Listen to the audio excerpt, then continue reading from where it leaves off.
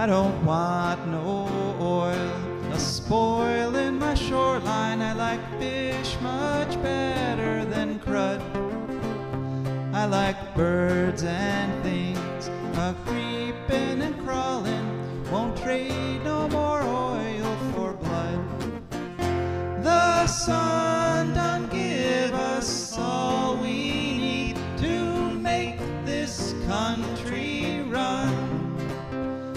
that black demon oil's got us fussing and fighting, and I do believe it's time we was done. I don't want them nukes run by them kooks who think radioactivity is fun. No more three-headed frogs or kids with leukemia. Nuclear power ain't fit dog. The sun done give us all we need to make this country run. But that nuclear power's got us fussing and fighting, and I do believe it's time we was done. No nukes! Good morning, Toledo, and good afternoon, Columbus, and hello to everyone listening on the internet, wherever and whenever you are. My name is Joe DeMare, and welcome to For a Green Future. For a Green Future is a show on environment and ecology, and we look at environmental and ecological issues from the standpoint of how they're going to help you, help your health, help your wallet, help your family, help your your, your level of happiness. Because a healthy environment is an environment that supports you, and a green future is a future with a healthy environment. And uh, I was driving in this morning, as I do every every Sunday morning here at 8 a.m. in Toledo, and uh, was looking over at the, the beautiful Maumee River. A healthy environment is also a beautiful environment. I don't know if you've noticed that, but there's a whole industry that all it does is show us wonderful, beautiful films of, of the parts of the environment, the parts of the world that are still healthy and in, in their wild state. And uh, as I was driving in, I was looking over at the Maumee, and, and it was the sun was just coming up, and there was a beautiful mist rising on the river, and the trees were all there. No leaves on them yet, but the outlines, and some of them are budding. And and it was one of those mornings where you could imagine uh, the tall ships on the Maumee, or you could back in the early pioneer days, or you could imagine uh, canoes with with the Native Americans paddling up the river. And it's just a reminder that that there is some truth in beauty. You know, it's a beautiful river. We're very blessed to have it here in Northwest Ohio, and uh, we shouldn't take it for granted.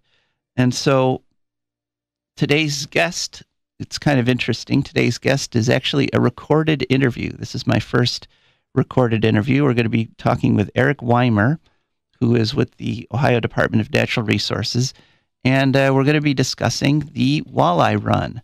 Since this is the time of the walleyes running, uh, I think we're going to dedicate this show to the walleye, to the to those terrific fish that come up the stream every year and and give so many fishermen so much happiness. And uh, fishermen, walleye fishermen, it, uh, the number to call in for this show is 866 240 1065. And uh, after the interview with Eric, we're going to open up the phone lines.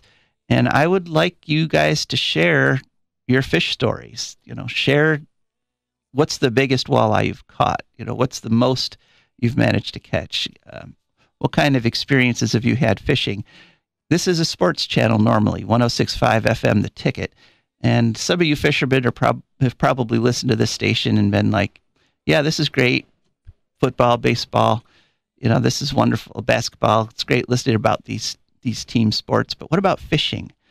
Well, today is your day because when we open up the lines, I would like people to call in about the walleye, about fishing and, and sport fishing and and what you do, what kind of jigs do you like to use, what kind, you know, what are your techniques for fishing, or maybe you don't want to share those, but you want to give us a story about what happened to you, you know, some fish that you've caught. Uh, please call in.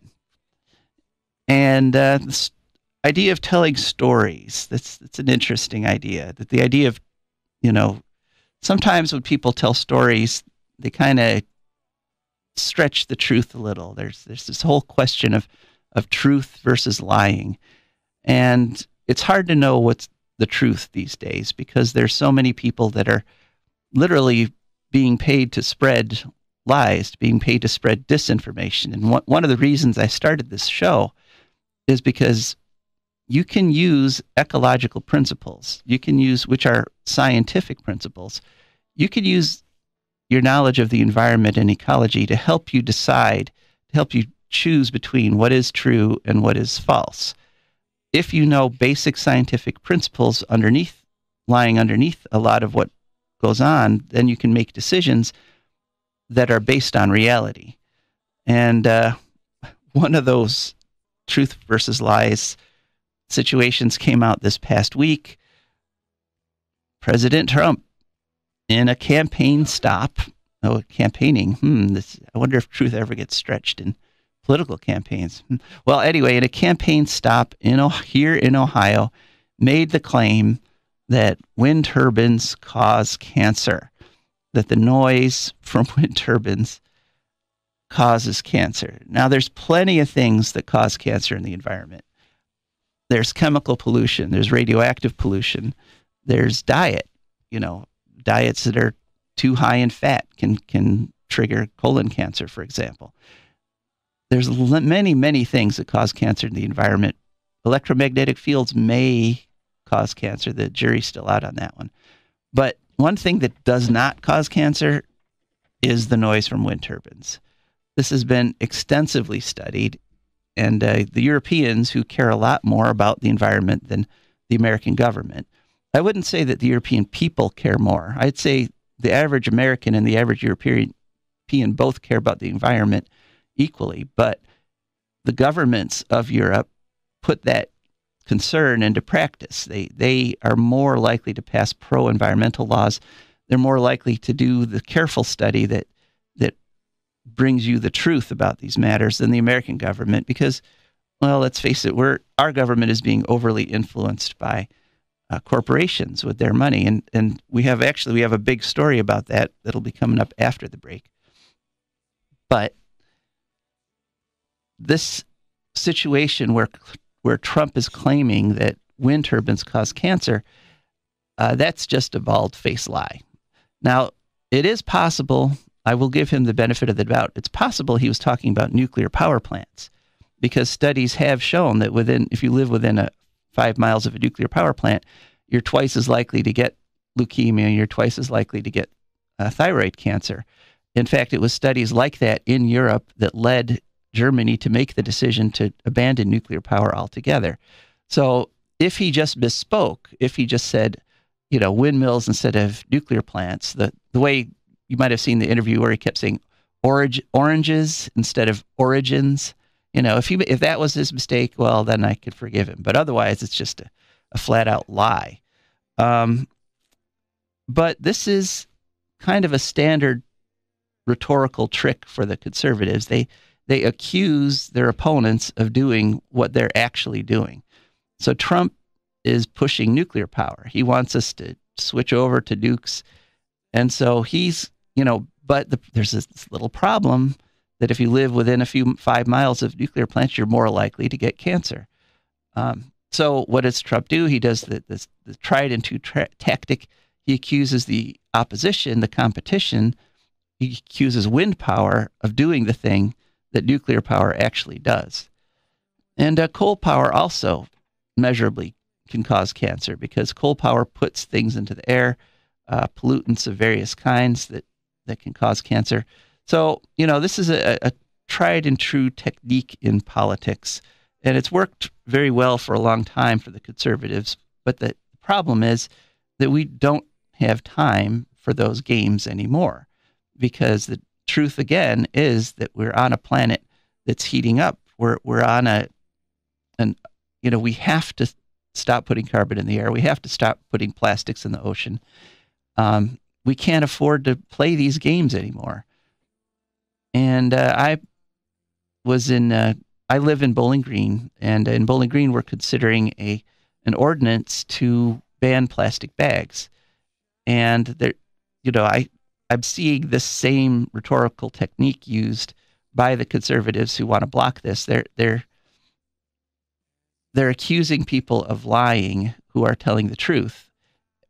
When and some of the arguments they're making against plastic bags are in fact themselves lies. So, you know, it's a confusing world, but if you have some basic biological and scientific and chemical information, you can make sense of that. And that's what our guest is going to be doing in just a just a couple minutes. We're going to switch over to our pre-recorded interview with Eric Weimer. Um, one other little point of information uh, that supports this idea: I had on my I meant to have on my show live last week uh, Libbe HaLevy, who was uh, an expert on the Three Mile Island situation. We didn't get her on the show live, but I did do an interview with her, which is up on our YouTube channel for a green future. And uh, the whole interview's there. And those of you who are listening in Columbus on Saturday, you, you got to hear, hear a portion of that interview in your uh, broadcast. But she pointed out that the 15 mile radius around Three Mile Island has the highest rates of thyroid cancer and leukemia in the country. And this is not a surprise if you know about the effect of radiation, radioactive poisoning, if you know about the effect that these radio, radioactive atoms that they're putting in the air, you're not going to be surprised by this fact. And you're going to be able to make the link between the Three Mile Island accident, where radioactive things were put into the environment, and then people developed cancer. You're going to make that connection. Whereas the nuclear industry does not want you to make that connection. They, they say, oh, it's just a coincidence that the people who live in the area that had the worst nuclear accident in U.S. commercial reactor history have developed cancer at higher rates. But yeah, so but the truth is, the truth is obvious if you have a basic understanding, and that's why I'm I invited Eric Weimer on, and uh, we're going to get to his interview in just a second. And don't worry, those of you that are listening for sports, this is 106.5 FM, the ticket. Sports will be back at nine o'clock with. Uh, Mick Gonzalez and the cheap seats. So your your regular sports program will continue, and uh, just but just take this hour, just this little one hour, to think about some larger issues.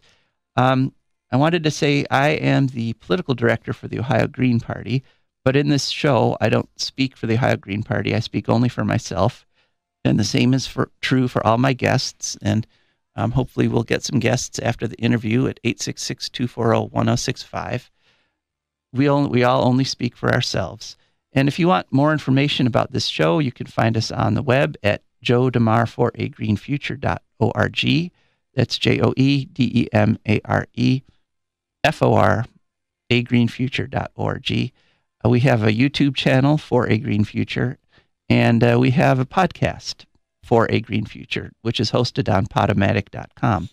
And finally, we do have a Patreon page. If you like what you hear and you'd like to support it, um, check us out on Patreon for a Green Future, and you can sign up if you like to um, support us with a few dollars every month and help keep this program on the air. All right.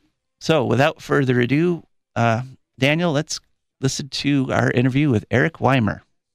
Eric Weimer, thanks for coming on for a Green Future. It's my pleasure. Thanks for having me. Okay. Could you share with our audience just uh, what your title is and, and, and what you do every day? Uh, certainly. Um, I am the currently the supervisor of the um, Lake Erie Fisheries Unit office in Sandusky. Um, I uh, have been here uh, at this office since 2005 uh, as a biologist working on Lake Erie for the Ohio Department of Natural Resources uh, Division of Wildlife.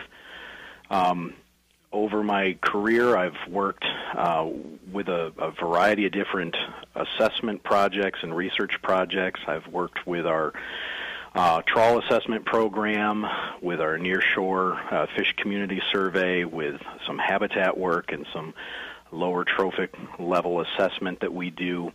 Uh, been involved with a, a lot of different things.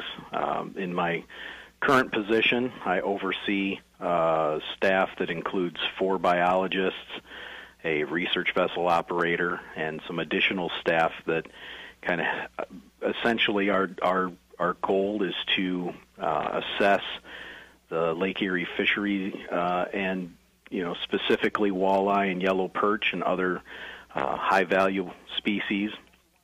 Um, Mhm. estimate their populations and and help to set regulations to ensure we don't uh, overharvest or, or damage our our uh, Lake Erie fisheries. All right, great. Well, we're, we're happy to have you on.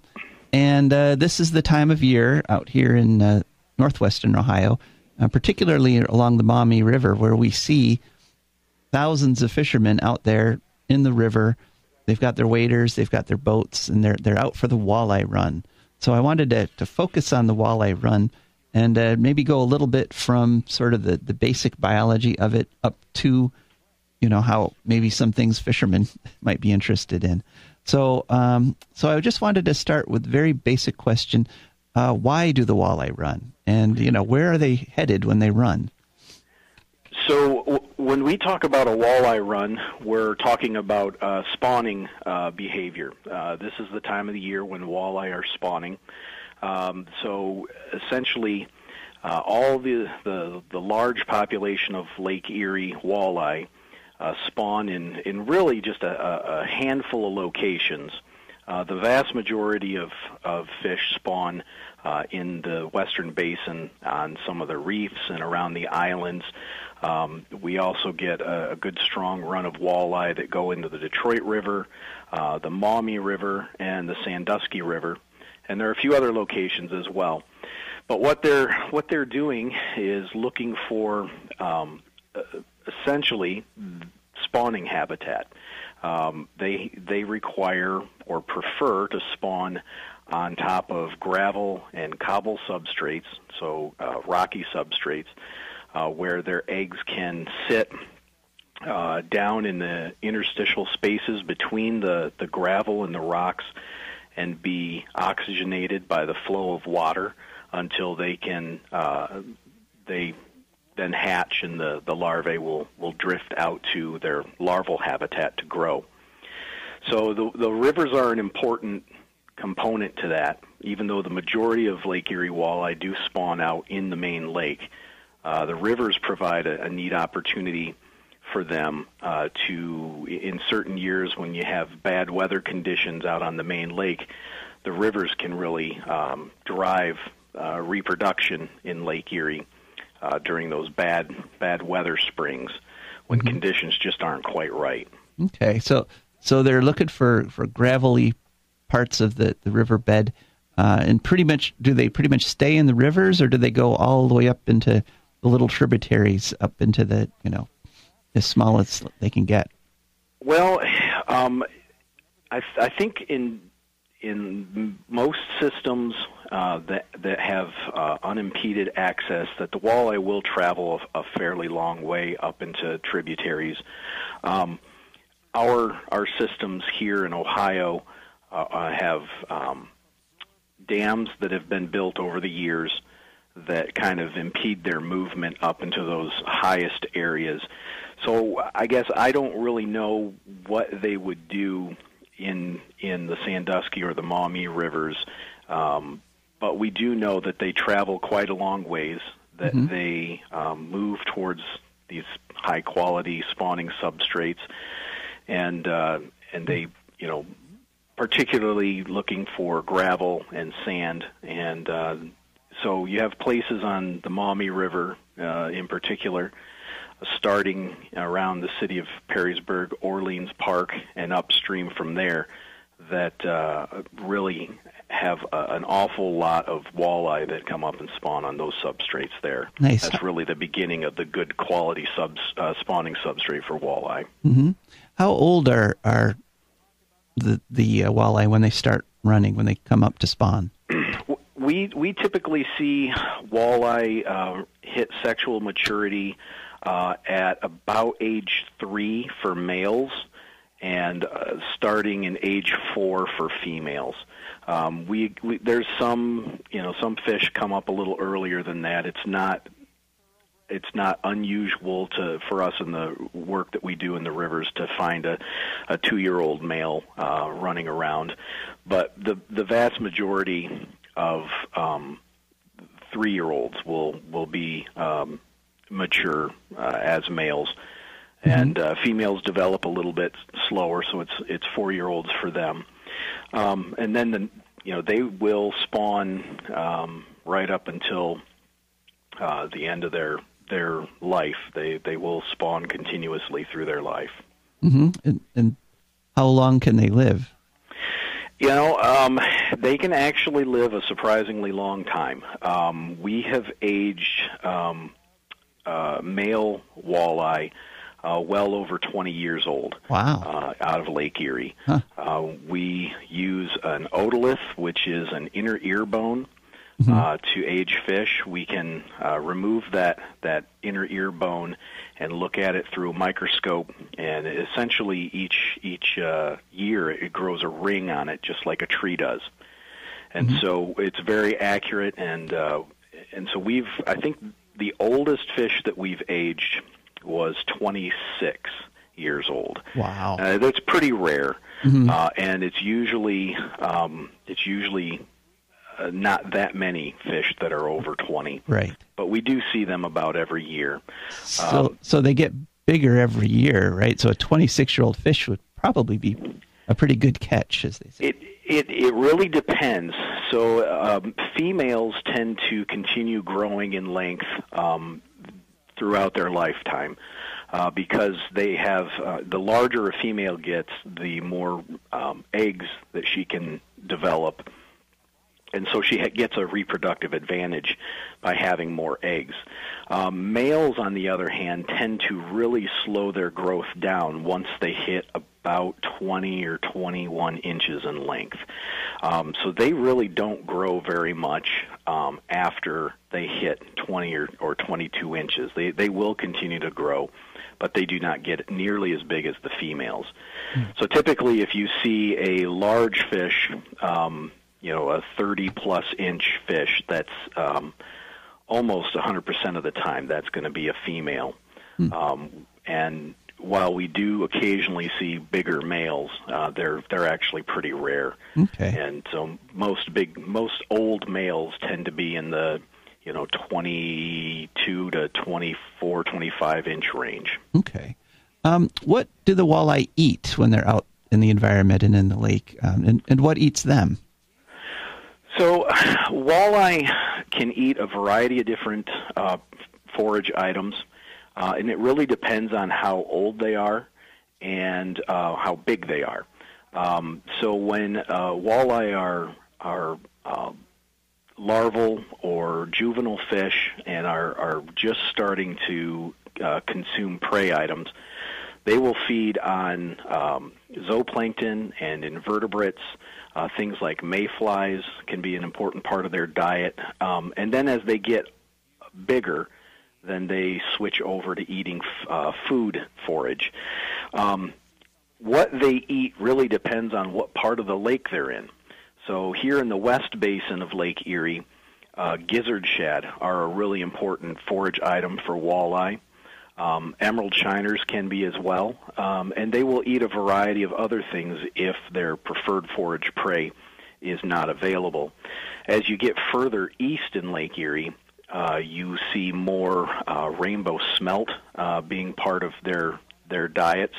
Uh, and and honestly, when you get down to the east basin of Lake Erie, down in in uh, New York waters and such, rainbow smelt have traditionally been uh, really the dominant uh, forage item for for walleye down there.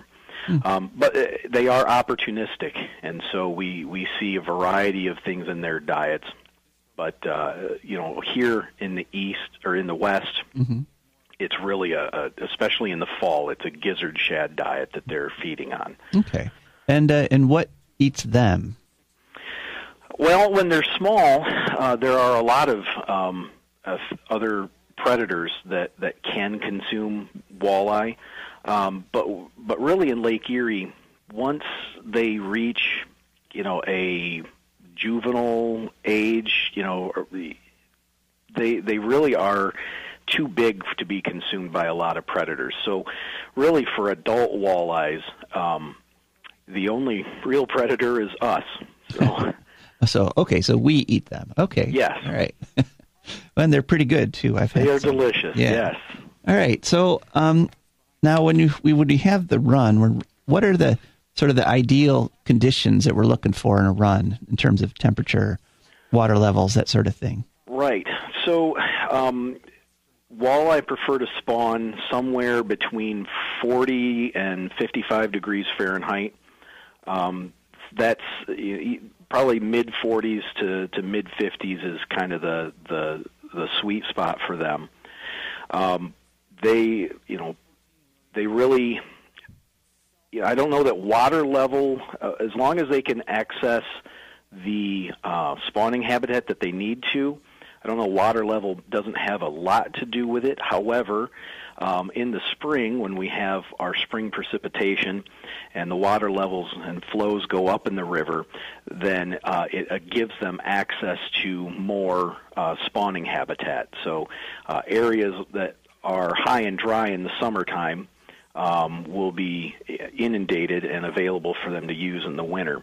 Um, we do find that uh, pulses of spring rain. Um, uh, anglers will tell you at least that uh, when you get a nice pulse of rain and, and the flows go uh, up a little bit, that that will attract walleye into the rivers for spawning. And uh, we see that with other species as well. Mm, So okay. um, that spring rain is important, uh, at least as a spawning cue, if not for providing them uh, habitat, or at least access to habitat. Okay. Um, Um, moon phase, sorry, oh, sorry to oh, interrupt. uh, oh no, go, go on. say moon phase can also play a part in it too. So we Ah. typically look at the calendar, and, and we we know that around here uh, in the Maumee River and the Sandusky River that we start seeing walleye show up um, uh, in spawning areas by the middle end of March, and, and they're typically in the rivers until the end of April. Um, but the moon can also uh, influence spawning activity. We we've seen out on the main lake, in particular, that when we have uh, full moon, the the spawning activity seems to uh, increase a, a, a bit. Um, so so the you know, walleye, just- so the walleye are a romantic fish. Then. yes, long Okay. strolls under the moonlight. You got it. Okay, cool. Um, all right. So, how much of an economic impact does this uh, does the walleye have for Ohio? I mean, and are there other runs around the state with some other other species of fish, perhaps? Sure. So it's it's hard for uh, to separate um, just the impact of walleye uh, on um, our economy, but uh, the uh, American Sport Fishing Association um, tracks uh, the the the value of sport fishing uh, in, across the United States, and their last report. Uh, showed that uh, sport fishing or recreational fishing uh, on Lake Erie uh, was an over a billion dollar uh, boost to the Ohio economy each year. Wow. So it's a it's a significant um, part of our, especially our lakeshore um, uh, communities, um, and it's not only the sale, like direct sales of you know fishing equipment and and boat ramps and and other things like that but it's also all of the money that anglers spend when they when they come into town staying at hotels and restaurants um and and just all of the the money that they spend associated with a trip to fish for uh, fish on Lake Erie uh, really adds up to a lot of jobs and a lot of money into our economy. It's a really important part of what we do up here along the lake shore. So, what are some of the challenges facing the, the fishery, and you know, how do you ensure that the fish are harvested at, at sustainable rates? Sure. Well, uh, maybe I'll, I'll get to the second half of that question first. Um, Okay. So, w- with the Division of Wildlife, um, we spend our year uh, out on the lake doing fisheries assessments. Uh, spring, summer, and fall, we are doing different types of work to estimate the number of uh, adult fish. We do other surveys, like our trawl surveys, to estimate the number of um, young young of year fish, so the fish that are hatched each spring, so that we know what they'll be contributing in the future as they uh, grow. Uh, we also do harvest assessment surveys, so we have creel clerks that uh, interview anglers as they return from fishing trips. Uh, that uh, will um, help us generate estimates estimates of um, harvest for the different species of fish. Um, and so we, every winter, will take that assessment data and we will um, meet with biologists from Michigan, from Pennsylvania, from New York, and from Ontario. And they bring their data sets and we bring ours and we kind of combine them all together and so that we have more of a lake-wide snapshot of the fishery each year. And then we run through uh, run this data through some pretty complex um, mathematical models that will estimate uh, population sizes for walleye and other um, key uh, species of fish. And uh, that process then goes to um, the Lake Erie Committee, which is made up of representatives from each of the states, who then decide uh, how many fish we can safely remove from the lake each year and how to divvy that out between the, the different agencies. Uh, at the end of that process, uh, here in Ohio, we get a quota uh, or a total allowable catch uh, from uh, the Lake Erie Committee that we can then um, divvy out to uh, our anglers. So we, we get quotas for different species. Uh, for walleye, our quota goes entirely to uh, recreational fishing. Mm-hmm. And then we ensure that um, using some other estimates uh, of harvest rates and um, and effort by our recreational anglers, we can then set bag limits so that we don't exceed our total allowable catch. So that's really what the bag limits are there for, is to keep us from uh, going over our quota each year and doing um, doing any harm to the, the Lake Erie population of, of walleye and other other fish species. Mm-hmm. So it's kind of a, a, full year of activities that lead up to um, the regulations being approved and and uh, published each year, and then the work starts all over again. Mm-hmm. Yeah, that's yeah. I know that, like in the Norwegian cod fishery, um, the you know catch allowed by humans and the commercial catch, they look to about ten percent of the population annually, and then uh, you know, during the spawning, animals and whales and, and things take about 1%. Um, so, do you have an idea or a handle on sort of what percentage of the total population uh, we're taking? Or um, so I'm, I'm, trying to remember all the numbers right off the top of my head. Yeah. Um, I don't. I don't have those numbers in front of me right at this okay. moment, so but, I, I, could. I could definitely get those to you. But um, we, but we but we're seeing you know, but the fishery is sustaining. And, well, and yeah. So I can I can give you um, numbers based on last year. So last year, the estimated population of walleye in Lake Erie was um, 41 million fish. Uh, oh, that nice. are that were two year old or older. So mm-hmm. these are all adult walleye. So 41 million of those fish. The Ohio quota um, we last year. Well, Ohio harvested uh, two million fish last year. Mm-hmm. So it, um, and then uh, similar amounts were harvested. Um, the quota gets divvied out based on uh, surface area, essentially, mm-hmm. of um, what each state or province owns of the lake. So. Uh, mm-hmm. Ohio gets a, a, pretty big chunk of that, and mm-hmm. we were we were under quota uh, by a bit. Mm-hmm. Um, I don't remember what last year's quota was. Okay. I'm just always happy when we stay below it. Yeah. So, so the majority, you know, we're just taking a small percentage, and and right. most of the fish get to live out their their lives there. So, what are some of the challenges facing the uh, the fishery?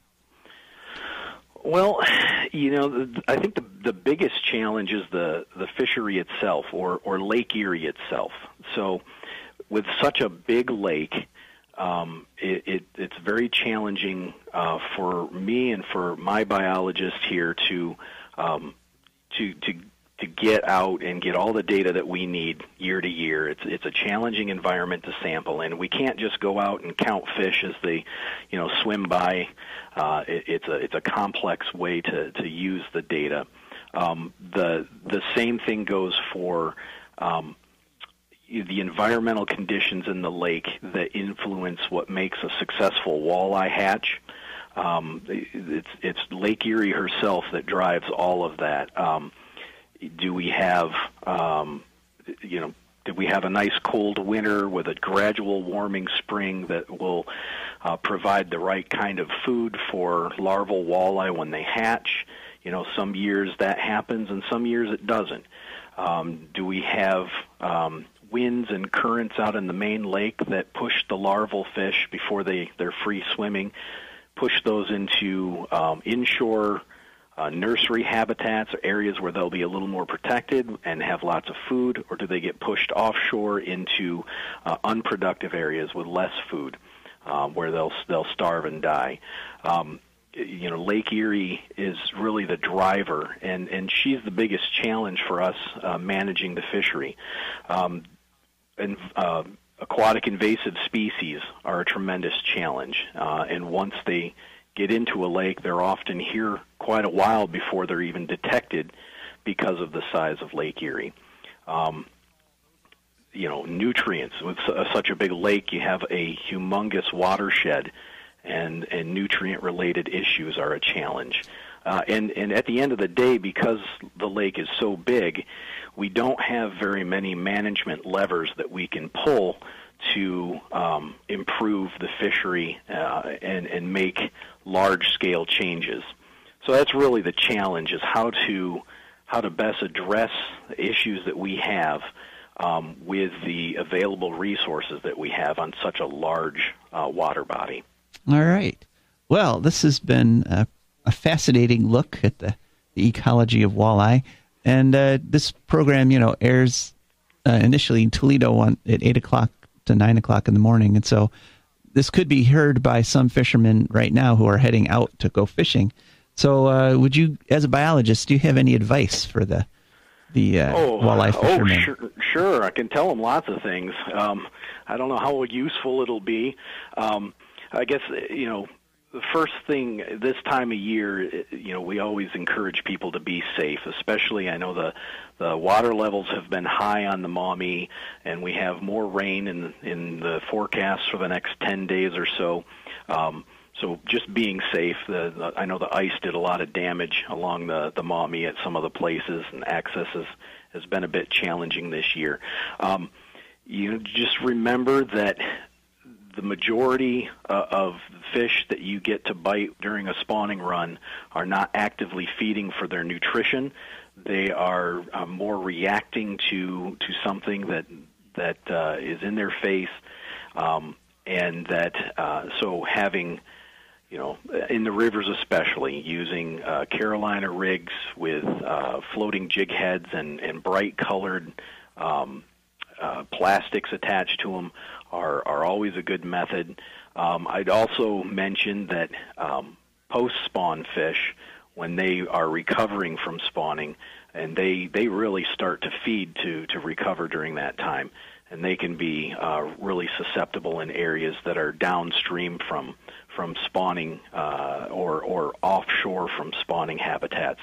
Uh, so those are those are important uh, things to consider too. Once the spawn starts to wind down, is uh, where you're fishing and and uh, and maybe you can um, find areas where they're holding fish as they're recovering from spawning activities that that might uh, might up your might odds hit, of, of catching a few. Might hit that bait a little harder there. They might yeah. they might just do that. Yeah. yeah. All right. Well, Eric, thank you very much. It's been a pleasure. Um, Pleasure's all mine. Yeah, and hopefully, maybe we can have you on in the future for some other uh, biological insights to the to what's going on in Lake Erie. That would be great. All right. Well, thank you very much. That was Eric Weimer. He was the fishery biologist supervisor at the Sandusky Fisheries Research Station. All right. Well, have a great day. Thank you. All right. And we are back live at 1065 FM, the ticket here on For a Green Future. Did you enjoy that? I, I enjoyed that. I, I had intended to trim that down to about a 20 minute interview, but as I was listening to it, I, I couldn't decide where to cut out because it was all the information was kind of fascinating. And uh, we're very lucky to have a such a healthy walleye run here in Northwest Ohio, and, and we're lucky that the lake is healthy enough to support it. And you know, I think we should feel a little a little gratitude for that. I think it's important to to feel thankful. It's not just something that's it's all right. Of course, we should be getting all these fish. No, it's a lot. Most places in the world don't get anything like this these days. Um, so, fishermen, time for your fish stories. 866 240 1065. 866 240 1065. What was the biggest walleye you ever caught? What sort of fish stories do you have to share with the with Northwest Ohio and, and the rest of the listening audience? Give us a call, 866 240 1065. And in the meantime, uh, we will listen to messages from our wonderful sponsors. Uh, one of our sponsors is the Wood County Park District. Uh, the Wood County Park District is a natural resources conservation agency. They protect natural spaces, maintain quality green spaces, provide engaging program, and they teach people to love and respect nature, restoring wildlife habitats and leading outdoor adventures.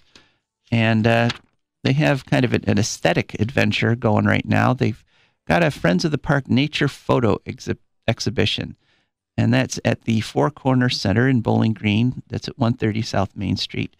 That's uh, that used to be a bank. It's been uh, repurposed. It's a big old building, but you go in there and you can see beautiful photographs of the nature in Wood County, and there's there's plenty of it because Wood County Parks protects 20 parks and nature preserves around Wood County, and all of them are open from 8 a.m. to 30 minutes past sunset every day of the year.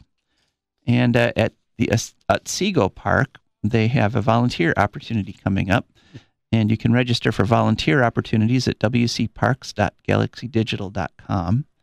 And uh, it's a conservation volunteer day that will be Tuesday, April 16th from 6 to 7:30 p.m. Uh, you can get out there and help get Otsego Park ready for the summer. And then on Sunday, April 28th, is the Community Earth Day celebration. That's going to be held at the Montessori School at 515 South or 515 Sandridge Road you don't have to register, just come and park, and all the activities are free. You could learn how to go green and find fun resources. Um, and that's April 28th from 2 to 4 p.m. Then uh, there's the annual plant sale for the Wood County Park District. That's the native plant sale. That's May 11th from 9 a.m. to 2 p.m. And there's they have over 40 varieties of locally sourced native plants, so local genome native plants. They're available on a first come, first served basis. They're only $4 each. So if you want to have in your lawn or in your garden or your landscaping, have some native plants, which can be very beautiful and very beneficial to wildlife, um, just four bucks each. And that's uh, Sunday, April, that's uh, Saturday, May 11th from 9 a.m. to 2 p.m. And uh, so we're very happy. There's a lot of other ways to get information about what the Wood County Park Districts are up to. You can go to their Facebook page, Wood County Park District, or on Twitter, they're Wood Park Dist, and at Instagram, also Wood Park Dist. And finally, if you want to register to volunteer at the parks, it's wcparks.galaxydigital.com. And our other sponsor for this hour is DeMare Consulting. DeMare Consulting is a computer consulting uh, firm they will come to your house and they will help you with your computer problems, no matter what those problems are. If your computer needs reformatting, if you need to get a new computer, uh, they'll help you pick out a new computer. If you need to transfer data from an old computer to a new computer, they can do that too.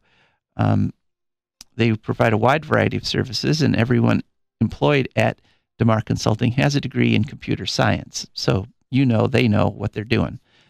Um, the way to get in touch with them, very simple. One is their website, demareconsulting.com. That's D E M A R E, the word consulting, dot C O M. And the other is you can call them or text them at 419 973 3000. That's 419 973 3000. And they'll respond right away and get out there to help you. And uh, they specialize in helping people who are perhaps of a slightly older generation. You know, those of us who remember computers as being these big things that filled rooms and uh, mysterious guys in white coats were the only ones who could make them work. If you could remember that, then you might be the, at the age bracket that you might want to call DeMare Consulting to have a hand in uh, dealing with your modern 21st century computer because they, they know what they're doing. All right. So, still looking for some fish stories. It's not often people will actually ask you to tell them a fish story, but that's exactly what we're doing here today because we're we're celebrating the walleye on For a Green Future. So if you've got one, please call in 866-240-1065. That's 866-240-1065. There's been some uh, interesting news, environmental news in the past uh, week or so. One is that there's a report out of Cleveland that some of the details on this proposed nuclear bailout are coming are coming to light, uh, are leaking out here and there. This is something we've been following since we started for a green future back in January, and what is going on is the Ohio State Legislature is considering giving FirstEnergy billions of dollars in, in bailout money to keep the Davis Besse nuclear plant and the Perry nuclear plant going. Now, it, it, all, it appears that FirstEnergy made direct campaign contributions to some of the very politicians who are promoting this legislation. So there's a, a very straightforward uh, negation of democracy, you might say. But it's looking like that they're they're kind of getting a little scared of what they're proposing here. I, I noticed that they have a um, they started a an astroturf organization, you know, which is when you pretend you've got a citizens group and you take out ads and do uh, actions and stuff, but really all you've got are some employees that you've paid to pretend that they're. Uh, so, the FirstEnergy started this astroturf group that's on Facebook, and they've been posting things on there and trying to support it. And I've noticed that their posts are not getting many likes. They're not getting shared a lot.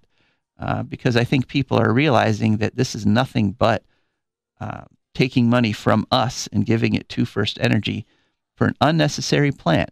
Wind and solar are here; they're of age. They're they are able to produce enough power to replace these nuclear plants without the danger of meltdown or without having to deal with the nuclear waste. And so they've kind of the report out of Cleveland is that this legislation is not going to actually say nuclear power anywhere. It's going to call itself a Clean Air Support Act. But the only thing is that it's not going to support wind or solar power. So it's going to call itself the Clean Air Support Act. We're going to give money to utilities that are producing power in a clean manner, but it, but we're not going to give any money to wind or solar. So they're they're thinking, oh, so that only leaves nuclear. So so it's like a tricky, backhanded, dishonest way to just give FirstEnergy millions of your of your dollars in upping your utility bill. It does look now now like the report is that this is going to be funded by increasing your utility bill as opposed to coming out of taxes or something like that. So uh, don't fall for it. And uh, I actually wrote or I called Theresa Gavarone's office about this. I, I live in Bowling Green. We we only have a state senator right now. We do not have a uh, representative in the Ohio House of Representatives. Um, so Gavarone's my only state legislator. I, I called her and asked for a letter telling her, you know, what's your position on this? And she sent me back a letter which was sort of classic political doublespeak in which she didn't admit to having any position on this. She just sort of said, I will be looking at this closely. Well, well, I actually happened to be, um, I was running for, as a Green, I was running for Bowling Green City Council in the year that uh, Theresa Gavarone was first running. And I'll never forget that at the League of Women Voters debates, uh, she got up there, and her answer to every single question was, I don't know. I don't have enough information on that topic. I'll look it up and I'll get back to you. and that's what she's still doing now as a state senator. She basically sent a letter saying, I don't know. The, the only thing is that she actually does know. You know, when she gets into office, she votes with the Republicans on anti environmental and conservative legislation. And so she knows what she's going to do. She's just not admitting it in a letter to a constituent. So, uh, talking about the the whole bending of the truth thing that happens so often.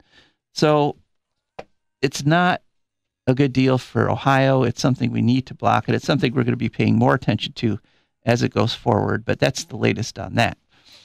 Now, one other thing that came along this past week is, um, as you may recall, we've had on past shows, we had um, the Lake Erie Bill of Rights. We did several shows on that before it got passed by the city of Toledo, which has made waves all over the world, actually. In fact, Markie Miller, who was uh, twice a guest on this show, is going is apparently she's going to be she's been invited to speak before the United Nations to talk about the Lake Erie Bill of Rights because it's such a radical idea to recognize the legal rights of a of a body of water.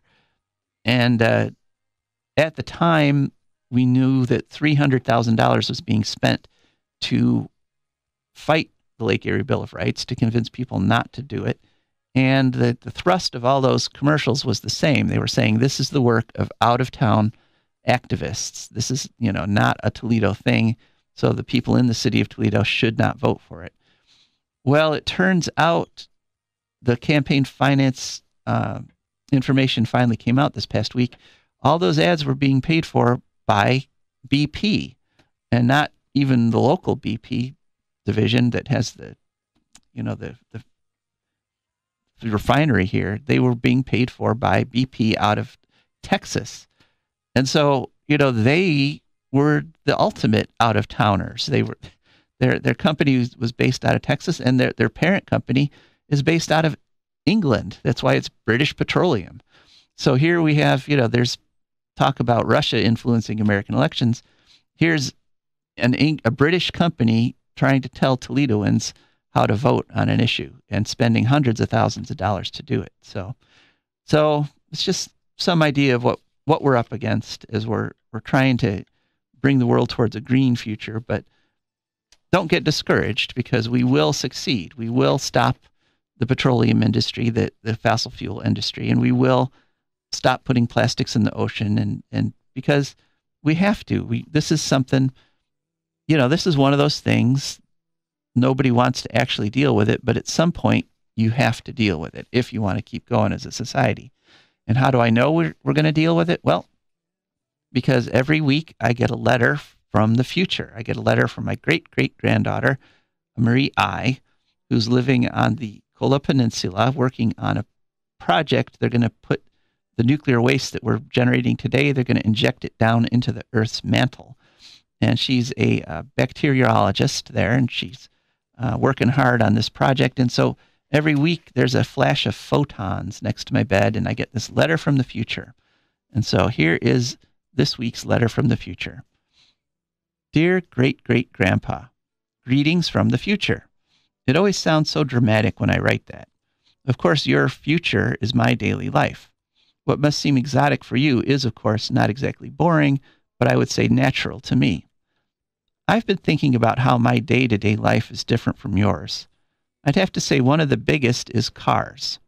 From what I understand, people in your time used to spend at least an hour a day locked into little metal boxes with rubber wheels, speeding along, smashing into each other, burning oil at an incredible rate, and never even thinking about how weird that was. I have only been in a car a few times in my life.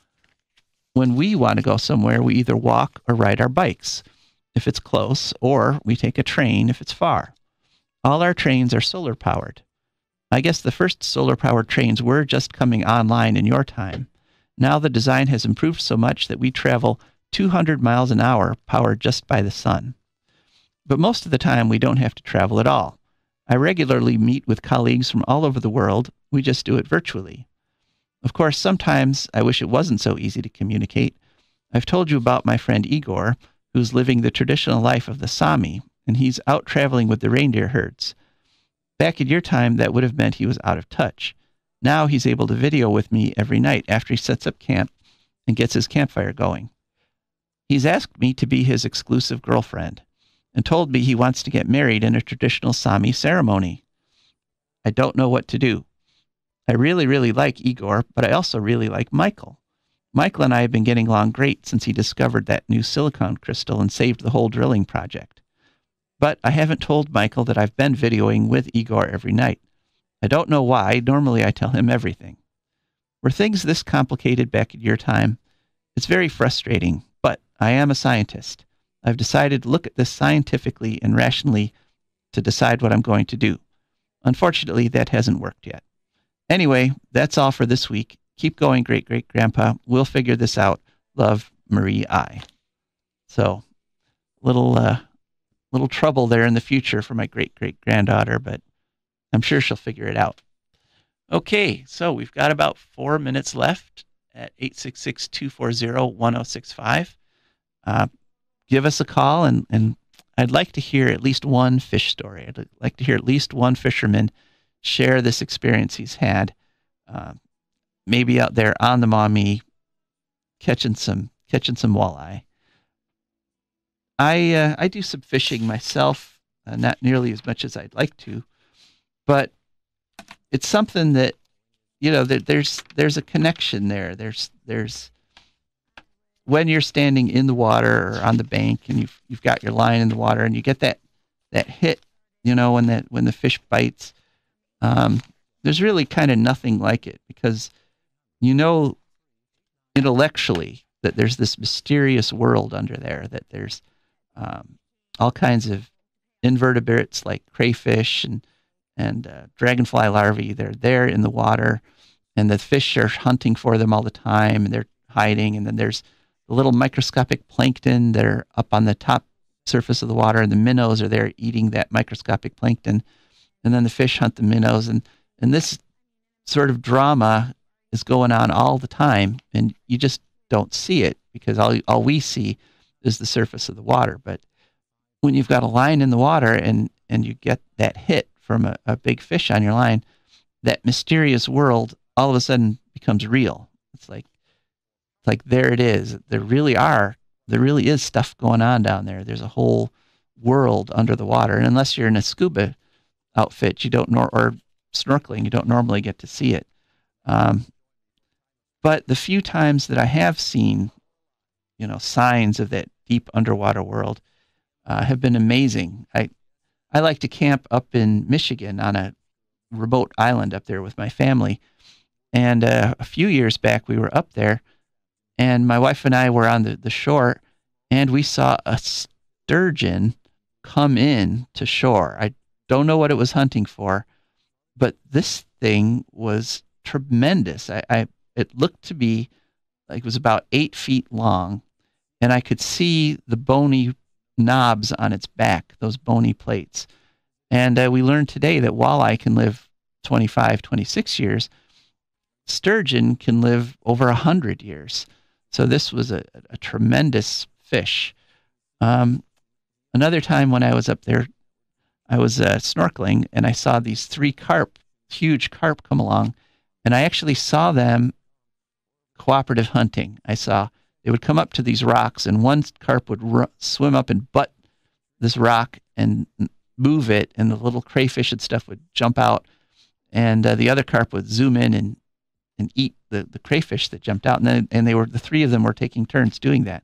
That was one of the most amazing things I've ever seen, and I've never heard that described anywhere before. So, anyway, we've come to the end. Uh, sorry, fisherman. You can call next week with a fish story if you've got one. Thank you so much for listening. This has been Joe DeMare and For a Green Future.